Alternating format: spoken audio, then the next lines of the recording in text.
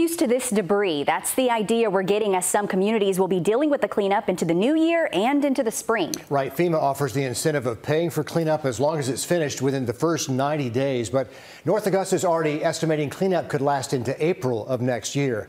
Your Audrey Dickherber joining us now live from Hammond Hills, an area hit hard by this storm. Audrey, the tree removal teams really have their work cut out for them over there. They definitely do. I mean, three and a half weeks later, and this is what a lot of the streets still look like. Debris piled so high, you can barely even see what's behind it. And this is also what Hammond Hills looks like all over and honestly all across the CSRA. The city, out of state businesses, and local crews are all working to get the CSRA cleaned up as quickly as possible and back to a new normal. But officials are saying it'll be months before that could happen. It's been weeks of this. Oh, it has been hectic, like like pure chaos since the beginning. Working around the clock since the start. The first six hours, we had over a thousand phone calls.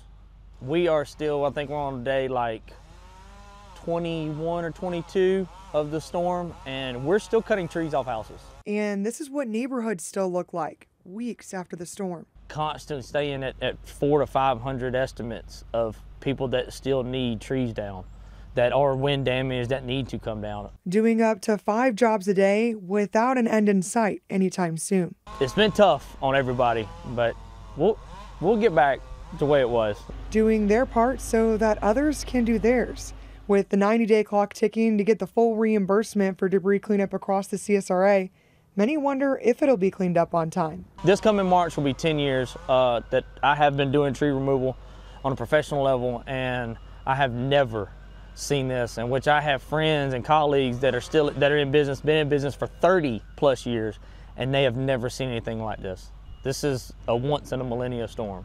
Clearing away a site nobody wants to see, and everyone is working hard to get rid of. I don't know how long it's going to go, but it's it's, it's going to be for a while, and we're going to be here to help as long as we possibly can. And the counties are all hoping to hit that 90 day mark or else it'll drop to 75% reimbursement. But with so much work to be done all around the area, North Augusta is saying it's probably going to take until April. That is such dangerous work out there. The damage is widespread. We really appreciate those crews. We do. And like he said, they're going to be there until this project is done. So certainly we're just all going to have to have patience. Thanks, Audrey. More than a